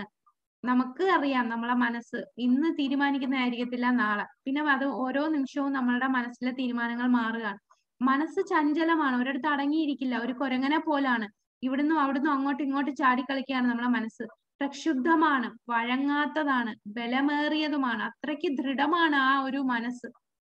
കൃഷ്ണ എനിക്ക് കാറ്റിനെ പിടിച്ചു നിർത്താൻ പറ്റും.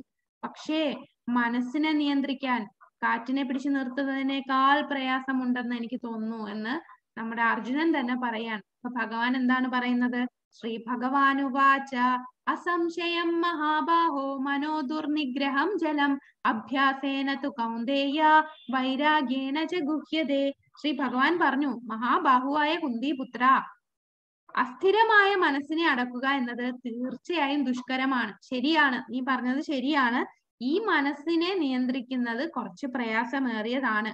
എന്നാൽ യുക്തമായ പരിശീലനം കൊണ്ടും നിസ്സംഗത കൊണ്ടും അത് സാധിക്കുവാൻ പറ്റും. അഭ്യാസം കൊണ്ട് നമുക്ക് നമുക്ക് പരിശീലിപ്പിക്കണം. നമ്മളെ മനസ്സിനെ നമ്മുടെ കൺട്രോളിൽ കൊണ്ടുവരുത്തണം അതിനെന്ത് ചെയ്യണം? നമ്മൾ പരിശീലിക്കണം. നിസ്സംഗത കൊണ്ടും നിസ്സംഗത എന്ന് ഉദ്ദേശിക്കുമ്പോൾ നമ്മൾ കുറച്ച് റെഗുലേഷൻസ് ഒക്കെ നമ്മൾ പാലിക്കണം. അങ്ങനെ പാലിച്ചാൽ നമ്മൾക്ക് മനസ്സിനെ നിയന്ത്രിക്കാൻ പറ്റും. അപ്പോൾ അഭ്യാസം അഭ്യാസം വൈരാഗ്യം. അഭ്യാസവും വൈരാഗ്യവും കൊണ്ട് നമുക്ക് മനസ്സിനെ നിയന്ത്രിക്കാൻ കഴിയും. അപ്പൊ അഭ്യാസം എന്ന് പറയുമ്പോൾ നമ്മൾ എങ്ങനെയാണ് ആ പരിശീലനം ചെയ്യേണ്ടത് നിരന്തരം ഹരേ കൃഷ്ണ മാമന്ത്രം ചൊല്ലുക. ഹരേ കൃഷ്ണ മാമന്ത്രം ചൊല്ലിയാൽ മാത്രമേ നമുക്ക് നമ്മളുടെ മനസ്സിനെ നിയന്ത്രിക്കാൻ കഴിയൂ. മനസ്സിനെ നിയന്ത്രിക്കാനുള്ള പരിശീലനം ആ ഒരു പ്രാക്ടീസ് ആണ് ഹരേ കൃഷ്ണ മാമന്ത്രം നിസ്സംഗത എന്ന് പറയുമ്പോൾ നമ്മൾ കുറച്ച് ചില റെഗുലേറ്റീവ് പ്രിൻസിപ്പിൾസ് ഒക്കെ വൈരാഗ്യം ചില കാര്യങ്ങളിലൊക്കെ ഒരു അത് പയ്യെ മതി. ഇപ്പോഴേ വേണ്ട. ആദ്യത്തെ പ്രൈമറി സ്റ്റെപ്പാണ് നമ്മളുടെ ഹരികൃഷ്ണ മാമന്ത്രം അത് ചൊല്ലിയതിന് ശേഷം പയ്യെ പയ്യെ നമുക്ക് ഓരോന്നിലും കൺട്രോൾ ചെയ്യാൻ സാധിക്കും. അങ്ങനെ സാധിച്ചാൽ നിനക്ക് നിന്റെ മനസ്സിനെ അടക്കാൻ സാധിക്കും. പ്രാപ്യ പുണ്യകൃതാലോകാനുഷിത്വാ ശാശ്വതി സമാഹ. ശുചീനാം ശ്രീമതാം ഗേഹേ യോഗഭ്രഷ്ടോ അഭിജായതേ. അങ്ങനെ യോഗത്തിൽ പരാജിതനാകുന്നയാൾ പുണ്യം ചെയ്തവർക്കായുള്ള ഉപരിലോകങ്ങളിൽ ആനന്ദം അനുഭവിച്ചുകൊണ്ട് അസംഖ്യം സംവത്സരങ്ങൾ വാണതിനു ശേഷം നീതിനിഷ്ഠമായ പുണ്യാത്മാക്കളുടെ ധനികരുടെ കുടുംബത്തിൽ വീണ്ടും പിറക്കും ഇനി അർജുനൻ ചോദിക്കുകയാണ് വലിയ യോഗിയാണ് യോഗകളൊക്കെ ചെയ്യുമ്പോൾ കുറെ കഴിയുമ്പം അതിൽ മടുപ്പ് തോന്നി ആ യോഗയിൽ പരാജയപ്പെട്ടാൽ. അപ്പൊ ഇത്രയൊക്കെ കഷ്ടപ്പെട്ട് യോഗ ചെയ്തിട്ട് അയാൾ പരാജയപ്പെട്ടാൽ അവരുടെ ഭാവി എന്തായിരിക്കും എന്ന് അർജുനൻ ചോദിക്കുന്നു. അതിനുത്തരമായിട്ട് ഭഗവാൻ പറയുകയാണ് അത് വിഷമിക്കണ്ട. ഒരാൾ പരാജയപ്പെട്ടാലും പുണ്യം ചെയ്തവർക്കായുള്ള ഒന്നുകിൽ നീ ഉപരിലോകങ്ങളിൽ സ്വർഗലോകത്തോ അല്ലെങ്കിൽ വേറെ ഉള്ള ഉപരിലോകങ്ങളിൽ പോവും. അവിടെ പോയി ആനന്ദം അനുഭവിക്കും. അതിനുശേഷം നീ വന്ന് ധനികന്റെ വീട്ടിലോ അല്ലെങ്കിൽ ബ്രാഹ്മണ വീട്ടിലോ വൈഷ്ണവന്റെ വീട്ടിലോ കുടുംബത്തിൽ വന്ന് പിറക്കും. അതുകൊണ്ട് നമ്മൾക്ക് ഭക്തിയിൽ പരാജയപ്പെട്ടാൽ നമ്മൾ ഒരിക്കലും ദുഃഖിക്കേണ്ട. ഭക്തിയിൽ പരാജയം വന്നാൽ അത് നഷ്ടപ്പെടില്ല. നമുക്കറിയാം ഈ ഭൗതിക ലോകത്തിൽ നമുക്ക് എന്തെങ്കിലും ഇപ്പൊ പത്താം ക്ലാസ് തോറ്റാൽ അല്ലെങ്കിൽ നമ്മൾക്ക് ഇപ്പൊ ഒരു ഡിഗ്രിക്ക് പഠിക്കുകയാണ്. ഡിഗ്രിക്ക് പഠിച്ച ഒരാൾ എല്ലാ പേപ്പറും പാസ്സായാലേ അയാൾക്ക് പാസ്സാവാൻ പറ്റൂ. പിന്നീട് അടുത്ത ജന്മം എടുക്കുമ്പോഴും വീണ്ടും ഇതുപോലെ എ ബി സി ഡി തൊട്ട് പഠിക്കേണ്ടി വരുന്നു.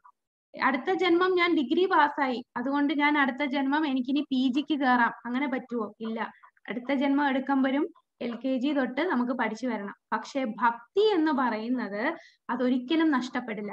ഈ ജന്മം നമ്മൾ ഒരു പത്ത് ശതമാനം ചെയ്താലും അടുത്ത ജന്മം നിനക്ക് ആ ഭക്തി ചെയ്യാൻ പറ്റിയ കുടുംബത്തിൽ ആയിരിക്കും നീ വന്ന് ജനിക്കുന്നത്. നീ ഒരു പുണ്യാത്മാക്കളുടെയോ ധനികന്റെയോ കുടുംബത്തിൽ വന്ന് പിറക്കുന്നു. നീ നല്ല കർമ്മങ്ങൾ ചെയ്തിട്ടുണ്ടെങ്കിൽ ഉപരിലോകത്തിൽ പോകും ഉപരിലോകത്ത് പോയി അവിടെ സുഖം അനുഭവിച്ച് തിരിച്ച് ഭൂമിയിൽ തന്നെ ഏത് ഫാമിലിയിൽ ജനിക്കുന്നു. അപ്പൊ നമ്മൾക്ക് ഇപ്പൊ തന്നെ നമുക്ക് മനസ്സിലാക്കാം. നമ്മളിപ്പോ ഏത് ഫാമിലിയിലാണ് നമ്മൾ നിൽക്കുന്നതെന്ന് പറഞ്ഞാൽ അതൊന്നും ആക്സിഡന്റൽ അല്ല. നമ്മളുടെ ഏത് കുടുംബത്തിൽ നമ്മൾ പിറക്കണം എന്നുള്ളതെല്ലാം നമ്മൾ കഴിഞ്ഞ ജന്മം ചെയ്തതിന്റെ ബാക്കിയായിട്ടാണ് നമുക്ക് ഈ ഒരു ജന്മം കിട്ടിയത്. അപ്പോൾ ഭക്തിയിൽ ഒരിക്കലും പരാജയമില്ല. വീണ്ടും അടുത്ത ജന്മം നിനക്കത് കണ്ടിന്യൂ ചെയ്യാൻ പറ്റും. യോഗിനാമപി സർവേഷാം മദ്ഗതേനാന്തരാത്മനാ ശ്രദ്ധാവാൻ ഭജതേ യോമാം മാം സമയയുക്തമോ മതഃ.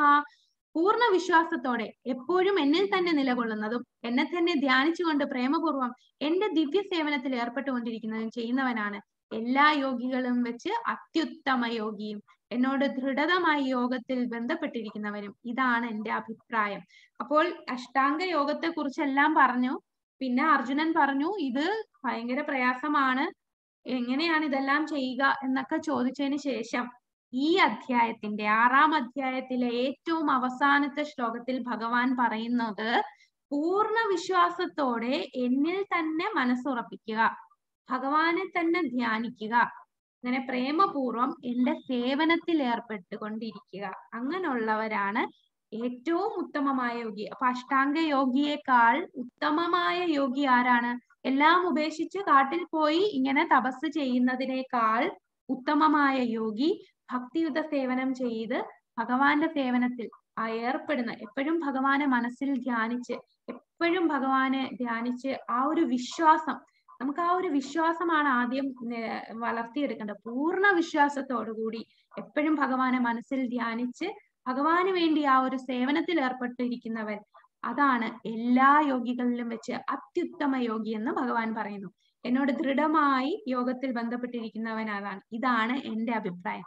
ഭഗവാൻ തന്നെ പറയുന്നു ഏറ്റവും വലിയ യോഗി ഭക്തിയുത സേവനം ചെയ്ത് ചെയ്യുന്നതാണ് ഏറ്റവും വലിയ യോഗം എന്ന് നമുക്ക് അടുത്ത അധ്യായമാണ് ഭക്തി യോഗ. അപ്പൊ ഭക്തി യോഗത്തിൽ പോകുന്നതിന് മുമ്പ് നമുക്ക് ചില കാര്യങ്ങൾ നോക്കാം. നമുക്കറിയാം നാല് യുഗങ്ങളുണ്ട്. ഏതൊക്കെയാണ് നാല് യുഗങ്ങൾ? നാല് യുഗങ്ങൾ ഏതൊക്കെയാണ്? കൃതയുഗം ത്രേതായുഗം ദ്വാപരയുഗം കലിയുഗം. ആദ്യത്തെ യുഗം ഏതാണ്? ഫസ്റ്റ് സത്യയുഗം. സത്യയുഗം. ആ സത്യയുഗം. അപ്പൊ ആദ്യം സത്യയുഗം സത്യയുഗം ത്രേതായുഗം ദ്വാപരയുഗം കലിയുഗം. വീണ്ടും കലിയുഗം കഴിഞ്ഞാൽ വീണ്ടും സത്യയുഗം തുടങ്ങും. ത്രേതായുഗം ദ്വാപരയുഗം കലിയുഗം. അങ്ങനെ ആ ഒരു സൈക്കിളിൽ പോവാണ്. അപ്പൊ സത്യയുഗത്തിലുള്ള ആൾക്കാർക്ക് ഒരു ലക്ഷം വയസ്സ് വരെ അവർക്ക് ജീവിക്കാൻ പറ്റും. അപ്പൊ അങ്ങനെയുള്ള ആൾക്കാർക്ക് പറഞ്ഞിരിക്കുന്നതാണ് ഇതുപോലെ ധ്യാനം. അവരുടെ ധർമ്മം ധ്യാനം ചെയ്താൽ മാത്രമേ അവർക്ക് ഭഗവാനെ ആ യുഗത്തിലുള്ള വ്യക്തികൾക്ക് ഭഗവാനിൽ എത്തിച്ചേരാൻ കഴിയും. പിന്നീട് ത്രേതായുഗമായി.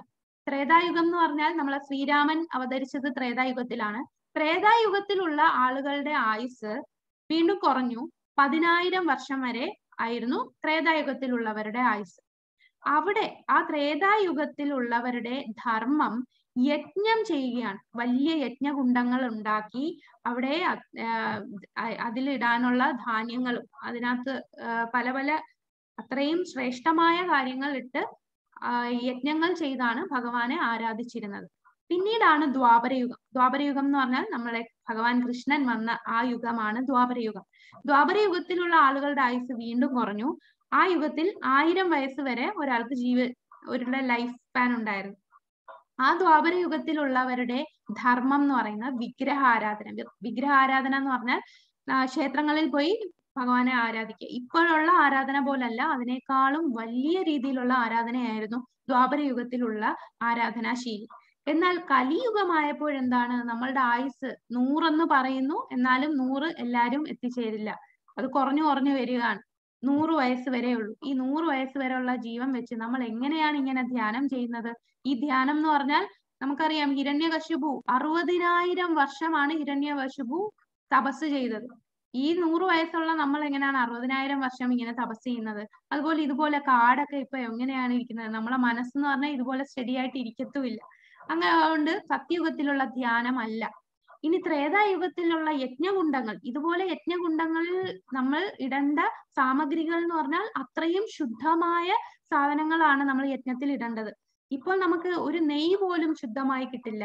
അതിനു പറ്റിയ ബ്രാഹ്മണന്മാര് പോലും ഈ കലിയുഗത്തിലില്ല. എല്ലാരും പൊല്യൂട്ടഡ് ആണ് അത്രയും ശുദ്ധിയുള്ളവരൊന്നും ഈ കലിയുഗത്തിലില്ല. അതുകൊണ്ട് യജ്ഞം നമ്മളുടെ യുഗധർമ്മമല്ല. ക്ഷേത്ര ആരാധനയും ഇപ്പോൾ കൊറോണയൊക്കെ ആയിട്ട് എത്ര പേര് ക്ഷേത്രങ്ങളിൽ പോന്നു? അന്നുള്ളവര് മൂന്ന് നേരം ക്ഷേത്രങ്ങളിൽ പോകും. അത്രയും ശുദ്ധിയോടുകൂടി. നമ്മളൊക്കെ ഇപ്പൊ എത്ര നേരം കുളിക്കും? ചില ദിവസം കുളിക്കത്ത് പോലും ഇല്ല. അങ്ങനെയുള്ള ഒരു കാലഘട്ടമാണ് ഈ കലിയുഗം. ആ കലിയുഗത്തിൽ കലിയുഗ ധർമ്മമാണ് ഹരിനാമ സങ്കീർത്തനം. ഹരിയർ നാമ ഹരിയർ നാമ ഹരിയർ നാമൈവ കേവലം. കലോ നാസ്ത്യേവ നാസ്ത്യേവ നാസ്ത്യേവ ഗതിർ അന്യത ഈ കലിയുഗത്തിൽ ഹരിനാമമല്ലാതെ വേറെ ഒരു വഴിയില്ല. ഈ പിക്ചറിൽ കാണിച്ചിരിക്കുന്ന ആരാന്ന് അറിയാമോ? അൺമ്യൂട്ട് ചെയ്ത് പറഞ്ഞോളൂ. മഹാപ്രഭു ഹരി പോലെ അതെ അതെ. ഹരേ ഇത് ചൈതന്യ മഹാപ്രഭു പിന്നെ കൂടെ നിത്യാനന്ദ പ്രഭു ഉണ്ട്. നമ്മൾ പഞ്ചതത്വയിൽ പറഞ്ഞ എല്ലാരും. അപ്പോൾ ഈ ചൈതന്യ മഹാപ്രഭു ആണിത്. ചൈതന്യ മഹാപ്രഭു ആരാണ്? ഭഗവാൻ കൃഷ്ണൻ തന്നെയാണ്. ഭഗവാൻ ദ്വാപരയുഗത്തിൽ അവതരിച്ച ആ ഒരു ഭഗവാൻ കൃഷ്ണൻ സ്വയം വന്നു. ഭഗവാൻ കൃഷ്ണൻ സ്വയം ഈ കലിയുഗത്തിലുള്ള ആൾക്കാരുടെ അധപ്പതനം കണ്ട് അദ്വൈതാചാര്യർ. അദ്വൈതാചാര്യർ എന്ന് പറയുന്നത് നമ്മളെ പഞ്ചതത്വയിൽ ഉള്ളതാണ് അദ്വൈതാചാര്യർ. അദ്വൈതാചാര്യർ കരഞ്ഞു വിളിക്കും. ശാലിഗ്രാമിൽ തുളസിയും ഗംഗാജലവും ഒഴിച്ച് മാസങ്ങളോളം വ്രതം അനുഷ്ഠിച്ച് ഭഗവാനെ അങ്ങ് വന്നാൽ മാത്രമേ ഈ കലിയുഗത്തിലുള്ള ആൾക്കാരെ രക്ഷിക്കാൻ പറ്റൂ. കാരണം അത്രയ്ക്ക് അധപ്പതിച്ചു പോയി. ആരും ഭക്തി ഭക്തി എന്നുള്ളത് വെറുതെ പേരിന് മാത്രമായി. അവിടെ ഭഗവാനോടുള്ള സ്നേഹം ആർക്കുമില്ല. ബ്രാഹ്മണരായ ആയിട്ടുള്ള ആൾക്കാർ പോലും അവർ ശാസ്ത്രങ്ങളിൽ ഞാൻ വലിയ കേമനാന്ന് കാണിക്കാൻ വേണ്ടി മാത്രമേ ഉള്ളൂ. ഭഗവാനോടുള്ള ആ ഒരു ഭക്തി ഒന്നും അവർക്കില്ല.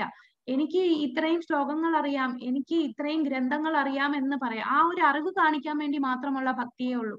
അപ്പൊ അദ്വൈതാചാര്യർക്ക് ആ ഒരു ആൾക്ക് പിന്നെ താഴ്ന്ന ജാതിയിലുള്ള ആൾക്കാര് അന്ന് മുസ്ലിം ഭരണമായിരുന്നു. കൂടുതൽ പേരെ മുസ്ലിം ആയിട്ട് കൺവേർട്ട് ചെയ്യാണ്. അങ്ങനെ മ- മത്സ്യമാംസാദികളെല്ലാം എല്ലാരും ഉപയോഗിക്കാൻ തുടങ്ങി. എല്ലാ ജീവജാലങ്ങൾക്കും അതപ്പതിച്ചുകൊണ്ടിരിക്കുകയാണോ ആ ഒരു കാലം. അപ്പോൾ ഭഗവാനെ അങ്ങ് വന്നാലേ ഈ ലോകത്തെ രക്ഷിക്കാൻ പറ്റൂ എന്ന് അദ്വൈതാചാര്യർ കരഞ്ഞു പറഞ്ഞു. ആ കരച്ചിലും ആ ഭഗവാനോടുള്ള ആ ഒരു സ്നേഹവും അങ്ങ് ഭഗവാൻ കൃഷ്ണന്റെ കാതിലെത്തി. അങ്ങനെ ഭഗവാൻ കൃഷ്ണൻ സ്വയം ഒരു സന്യാസിയുടെ വേഷത്തിൽ അവതരിക്കുകയാണ് ഇവിടെ ചെയ്തത്. അതാണ് ചൈതന്യ മഹാപ്രഭു. അപ്പൊ ചൈതന്യ മഹാപ്രഭു ആണ് നമ്മളുടെ കലിയുഗ ധർമ്മമായ ഹരിനാമ സങ്കീർത്തനം. ഐ- അഞ്ഞൂറ്റി മുപ്പത്തിനാല് വർഷങ്ങൾക്ക് മുമ്പാണ് ഭഗവാൻ ഇവിടെ ആ ചൈതന്യ മഹാപ്രഭുവായിട്ട് ആവിർഭവിച്ചത്. അദ്ദേഹം ആ ഒരു യുഗധർമ്മം നമുക്ക് എല്ലാവർക്കും പ്രചരിപ്പിക്കുകയാണ് ചെയ്തത്. അപ്പോൾ ഈ ചൈതന്യ മഹാപ്രഭുവിനെ കുറിച്ച് ശ്രീമദ് ഭാഗവതത്തിലുണ്ട്. കൃഷ്ണവർണം തുഷാകൃഷ്ണം യജ്ഞ യജ്ഞസങ്കീർത്തന പ്രായേർ യജന്തീഹി സുമേധസഹ എന്ന് പതിന- പതിനൊന്നാമത്തെ സ്കന്ധത്തിൽ ശ്രീ ശ്രീമദ് ഭാഗവതത്തിൽ പറയുന്നുണ്ട്.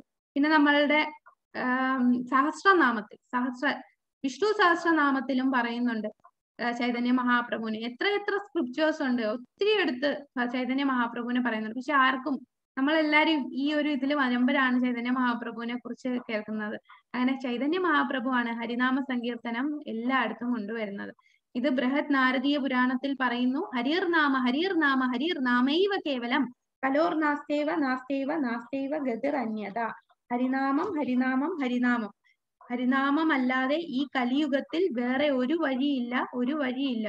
നമുക്ക് ഗതി വരാനായിട്ട് വേറെ ഒരു വഴിയില്ല. എല്ലാം മൂന്ന് വട്ടം പറയാണ്. മൂന്ന് വട്ടം പറയാന്ന് പറഞ്ഞാൽ അത്രയും ഇമ്പോർട്ടന്റ് ആണ്.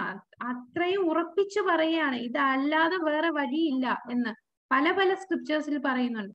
അപ്പൊ ഇവിടെ നമുക്ക് കാണാം ഒരു ലിഫ്റ്റും ഒരു പടി. നമുക്ക് ഒരു നൂറ് നിലയിൽ എത്തിച്ചേരണം. ഇതിൽ ഏറ്റവും എളുപ്പമുള്ള വഴി ഏതാണ്? ലിഫ്റ്റ് ലിഫ്റ്റ് ലിഫ്റ്റിൽ എത്തു കയറുക എന്നുള്ളതാണ് ഏറ്റവും എളുപ്പ വഴി. അപ്പൊ ആ ഏറ്റവും എളുപ്പ വഴി നമുക്ക് ഭഗവാനിൽ എത്തുക അതാണ് നമ്മളുടെ ലക്ഷ്യം. നമ്മൾ ഈ നൂറ് നില എന്ന് പറഞ്ഞ് ഉദ്ദേശിക്കുന്നത് ഭഗവാനിൽ എത്തിച്ചേരുക എന്നുള്ളതാണ്. ഭഗവാനിൽ എത്താൻ ഏറ്റവും എളുപ്പ വഴിയാണ് ഭക്തിയുത സേവനം. ഹരിനാമം ചൊല്ലുക ഹരേ കൃഷ്ണ മഹാമന്ത്രം ചൊല്ലുക. അതേസമയം അഷ്ടാംഗ യോഗം കർമ്മയോഗം എന്നൊക്കെ പറഞ്ഞാൽ അതും അങ്ങ് ഭഗവാന്റെ അടുത്ത് എത്തും പക്ഷെ അത്രയും പതുക്കെ പോവത്തതുള്ളൂ അത്രയും ദുസ്സഹമാണ്. നമ്മൾ ഈ പടി കയറി പോകുമ്പോ പകുതി വെച്ച് നമ്മൾ ക്ഷീണിക്കും. വീണ്ടും നമ്മൾ അവിടെ ഇരിക്കും. ചിലപ്പോ ഓ ഇനി വയ്യാന്നും പറഞ്ഞ് തിരിച്ചു വരും. എന്നാൽ ഏറ്റവും എളുപ്പമുള്ള വഴി ഭഗവാനിലെത്തുന്നത് ലിഫ്റ്റിൽ കൂടെ പോകുന്ന പോലാണ് ഭക്തിയുത സേവനം. ഈ ഭക്തിയുത സേവനമാണ് ഹരേ കൃഷ്ണ മഹാമന്ത്രം ചൊല്ലുക. ഹരേ കൃഷ്ണ മഹാമന്ത്രം ചൊല്ലുക എന്നത് എവിടെയെല്ലാം പറഞ്ഞിട്ടുണ്ട്? എന്തെല്ലാം പല പല സ്ക്രിപ്റ്റേഴ്സിൽ ഇതിനെക്കുറിച്ച് പറയുന്നുണ്ട്. നമ്മളെ ഭഗവത്ഗീതയിൽ പറയുന്നുണ്ട് യജ്ഞാനാം ജപയജ്ഞോപി ജപമാണ് യജ്ഞങ്ങളിൽ ഏറ്റവും വലിയ യജ്ഞം ജപം ജപമാണെന്ന് പറയുന്നു. അങ്ങനെ അഞ്ഞൂറ് വർഷങ്ങൾക്ക് മുമ്പ് ഹരിനാമ സങ്കീർത്തനം പ്രചരിപ്പിക്കാൻ ഭഗവാൻ നിത്യ ഭഗവാന്റെ പാർഷദരുമായിട്ട് അവതരിക്കുകയാണ്. പല നാരദീയ നാരണീയ പുരാണം സാരദീയ സംഹിതയിൽ പറഞ്ഞിട്ടുണ്ട്. അതുപോലെ കലിയുഗത്തിന്റെ കാലഘട്ടത്തിൽ ആളുകൾ ദൈവത്തിന്റെ പരമോന്നത വ്യക്തിത്വത്തിന്റെ വിശുദ്ധ നാമങ്ങൾ ചൊല്ലണം. അപ്പൊ കലിയുഗ ധർമ്മമാണ് ഹരിനാമ കീർത്തനം. ഹരേ കൃഷ്ണ ഹരേ കൃഷ്ണ കൃഷ്ണ കൃഷ്ണ ഹരേ ഹരേ.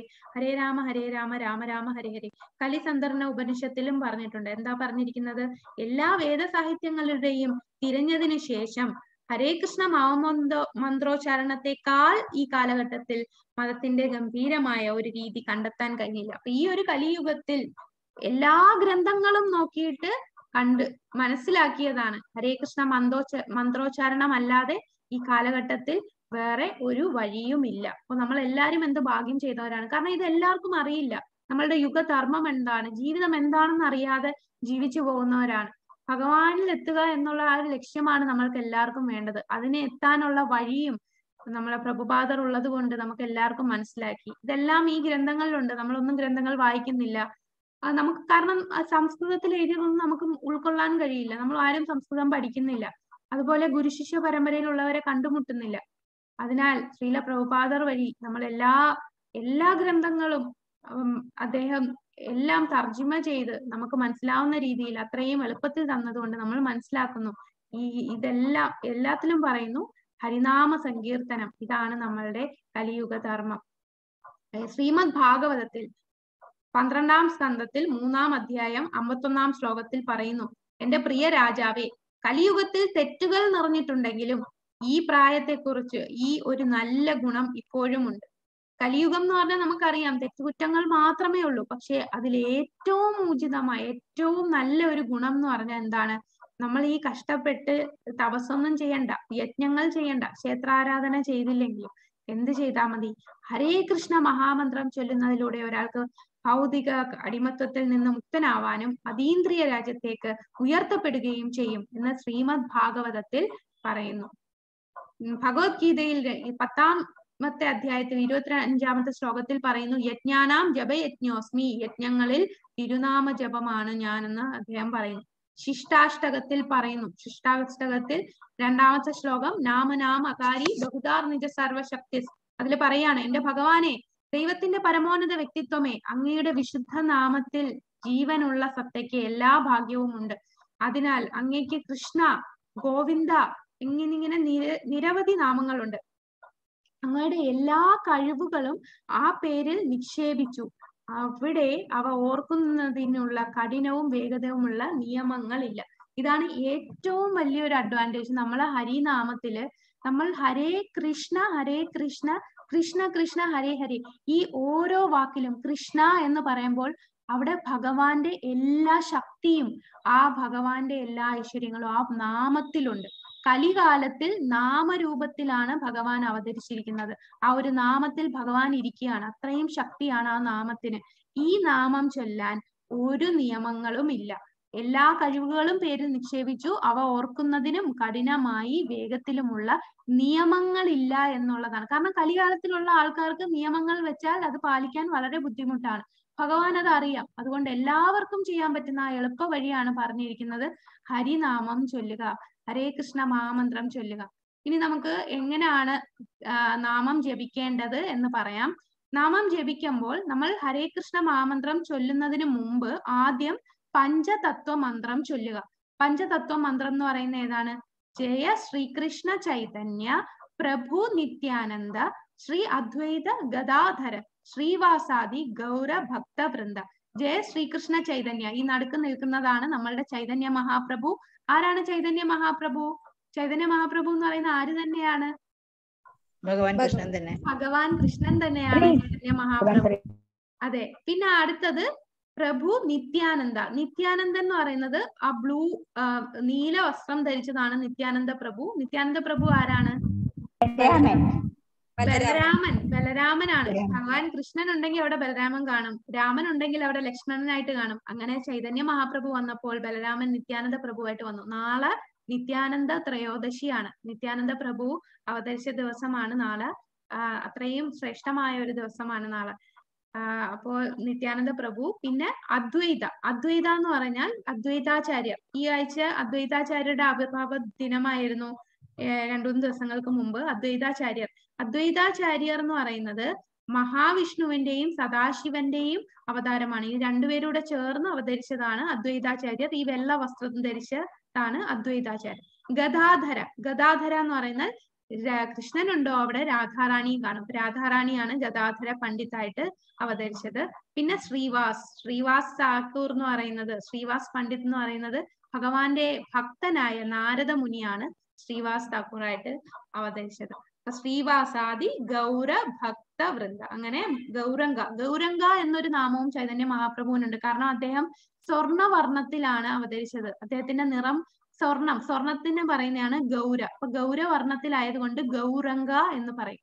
അങ്ങനെ ഗൗര ഭക്ത വൃന്ദ അങ്ങനെ ആദിയായ ഭക്തന്മാരുമായും നമ്മൾ ആദ്യം ഇവരെ എല്ലാരെയും സ്തുതിച്ചിട്ടാണ്. അവരുടെ പ്രണാമങ്ങൾ അർപ്പിച്ചിട്ടാണ് നമ്മൾ ഹരേ കൃഷ്ണ മഹാമന്ത്രം ചൊല്ലുക. ഇനി ഹരേ കൃഷ്ണ മഹാമന്ത്രം ചൊല്ലുമ്പോൾ നമ്മൾ വേറെന്തേലും ആലോചിച്ച് ചൊല്ലാൻ പാടില്ല. നമ്മൾ ചൊല്ലുന്ന നാമം നമുക്ക് കേൾക്കണം. മനസ്സിൽ ചൊല്ലുന്നതല്ല. കേൾക്കുന്ന ഒച്ചത്തിൽ നമ്മൾ ഹരേ കൃഷ്ണ മഹാമന്ത്രം ചൊല്ലണം. ചിലപ്പം പറയും നമ്മൾ ഇങ്ങനെ മനസ്സിൽ ഇങ്ങനെ ഓർക്കാം. പക്ഷെ മനസ്സിൽ കണ്ണു അടച്ചിരുന്നാൽ എന്താ പറ്റുക? കുറെ നേരം കണ്ണു അടച്ച് മനസ്സിൽ വിചാരിക്കാന്ന് വിചാരിച്ചാൽ എന്തായിരിക്കും? നമുക്ക് എന്ത് തോന്നും? കണ്ണു അടച്ച് ഉറങ്ങിപ്പോവും. അതെ. നമുക്ക് ഉറക്കം വരും. അതുകൊണ്ട് കേൾക്കുന്ന ശബ്ദത്തിൽ ഉറക്കെ നമ്മൾ ബാക്കിയുള്ളവർക്ക് ഡിസ്റ്റർബൻസ് ആവുന്ന രീതി പറയണ്ട. നമുക്ക് കേൾക്കുന്ന ശബ്ദത്തിൽ ഹരേ കൃഷ്ണ മഹാമന്ത്രം ചൊല്ലുക. അത് നമ്മൾ ശ്രവിക്കുക. ഓരോ പേരും ഹരേ കൃഷ്ണ ഹരേ കൃഷ്ണ കൃഷ്ണ കൃഷ്ണ ഹരേ ഹരേ ഹരേ രാമ ഹരേ രാമ രാമ രാമ ഹരേ ഹരേ. ഓരോ വാക്കും വ്യക്തമായി ഉച്ചരിക്കുക. ചിലപ്പോൾ സ്പീഡിൽ പറയുമ്പോൾ ഹരേ കൃഷ്ണ ഹരേ കൃഷ്ണ കൃഷ്ണ എന്നുള്ളതിന് കൃഷ് കൃഷ്ണ ആവും. രാമേനന് രം രാം എന്നൊക്കെ ആയിപ്പോ അങ്ങനെ വരാൻ പാടില്ല. ഓരോ പേരും വ്യക്തമായി നമ്മൾ ഉച്ചരിക്കണം. പിന്നെ ആദരവോടും ഭക്തിയോടും കൂടി മന്ത്രിക്കുക. ഇനി ഇത് മന്ത്രിക്കുന്നതിന് ഏത് സ്ഥലത്ത് നമുക്ക് ഇരിക്കാം? നമ്മൾ കുളിച്ചിട്ട് വേണമെങ്കിൽ നമുക്ക് അങ്ങനെ ഇന്ന ദിശയിൽ ഇങ്ങനെ ഇരുന്ന് ജപിക്കണം എന്നൊന്നില്ല നമുക്ക് നിന്ന് വേണമെങ്കിലും ജപിക്കാം ഇരുന്ന് ജപിക്കാം നടന്ന് ജപിക്കാം. ഏത് ദിശയിൽ അഭി അഭിമുഖീകരിച്ച് വേണമെങ്കിലും നമുക്ക് ജപിക്കാൻ കഴിയും. നമുക്ക് എപ്പോൾ വേണമെങ്കിലും മന്ത്രം ചൊല്ലാം. മന്ത്രം ചൊല്ലാൻ ഇന്ന സമയത്തെ ഈ മന്ത്രം ചൊല്ലാവൂ. അങ്ങനെ ഒന്നുമില്ല. നിരന്തരം ചൊല്ലുക. ഏത് സമയത്ത് വേണമെങ്കിലും നമുക്ക് ചൊല്ലാം. രാത്രി ആയാലും പകലായാലും നമുക്ക് ഈ മന്ത്രം ചൊല്ലാൻ കഴിയും. എന്നിരുന്നാലും അതിരാവിലെ ബ്രഹ്മമുഹൂർത്തത്തിൽ ചൊല്ലുന്നതാണ് ഏറ്റവും ഉത്തമം. അതിന് കഴിഞ്ഞില്ലെങ്കിലും കുഴപ്പമില്ല. ഏത് സമയത്ത് വേണേലും നമുക്ക് നാമം ജപിക്കാം. കുളിച്ചതിന് ശേഷമോ കുളിക്കുന്നതിന് മുമ്പോ നമുക്ക് നാമം ജപിക്കാം. കുളിച്ചാലേ നാമം ജപിക്കാവൂ എന്നൊന്നുമില്ല. നമുക്ക് എപ്പോഴും നാമം ജപിക്കാം. എണ്ണം വെച്ച് മന്ത്രം ചൊല്ലുന്നതാണ്. നമുക്കൊരു എണ്ണം വേണം. നമുക്ക് കാരണം നമ്മൾക്ക് ആ ഒരു സിസ്റ്റമാറ്റിക് ആയിട്ട് പോയാലേ നമുക്ക് ആ നൂറ്റിയെട്ട് മുത്തുകളുള്ള ഒരു മാലയാണ് മഹാമന്ത്രം ചൊല്ലുന്നതിന് ഏറ്റവും നല്ലത്. എണ്ണം വെച്ച് വേണം നമ്മൾ എപ്പോഴും നാമം ജപിക്കാൻ. ഹരേ കൃഷ്ണ മഹാമന്ത്രം ദിവസേന നൂറ്റിയെട്ട് തവണയെങ്കിലും ജപിക്കേണ്ടതാണ്. ഇന്ന് നമ്മൾ നൂറ്റിയെട്ട് തവണ ജപിച്ചു. ഹരേ കൃഷ്ണ മഹാമന്ത്രം എല്ലാ ദിവസവും ഇത് ജപിക്കുക നൂറ്റിയെട്ട് തവണ. അത് മിനിമം ആണ്. ശരിക്കും നമ്മൾക്ക് പതിനാറ് മാല നൂറ്റിയെട്ട് ഇന്റു പതിനാറ്. ഇത്രയുമാണ് ഹരേകൃഷ്ണ മാമന്ത്രം ജപിക്കാൻ ശുപാർശ ചെയ്തിരിക്കുന്നത്. എന്നാൽ തുടക്കത്തിൽ നമുക്ക് ദിവസം നൂറ്റിയെട്ട് തവണ നാമം ജപിക്കാം. അപ്പോ ഹരേകൃഷ്ണ മഹാമന്ത്രത്തിൽ ഇനി ചെയ്യരുതാത്ത കാര്യം എന്ന് പറഞ്ഞാൽ ഒരു ഭാഗം മാത്രം നമ്മൾ ചൊല്ലാൻ പാടില്ല. ഒരു ഭാഗം എന്ന് പറഞ്ഞാൽ ഹരേ കൃഷ്ണ ഹരേ കൃഷ്ണ കൃഷ്ണ കൃഷ്ണ ഹരേ ഹരേ. പിന്നെ അടുത്ത മുത്തിൽ പോയി ഹരേ രാമ ഹരേ രാമ. അങ്ങനെ ചൊല്ലാൻ പാടില്ല. നമ്മൾ ഈ പതിനാറ് വാക്കുകളും ഹരേ കൃഷ്ണ ഹരേ കൃഷ്ണ കൃഷ്ണ കൃഷ്ണ ഹരേ ഹരേ ഹരേ രാമ ഹരേ രാമ രാമ രാമ ഹരേ ഹരേ. ഇത് മൊത്തവും ഒരു മുത്തിൽ ചൊല്ലണം.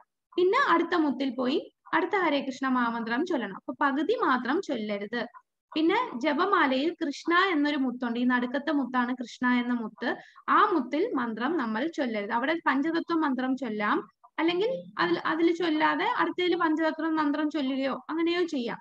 പക്ഷേ ഇതിൽ ഹരേ കൃഷ്ണ മഹാമന്ത്രം ചൊല്ലരുത് എന്നാണ് പറയുന്നത്.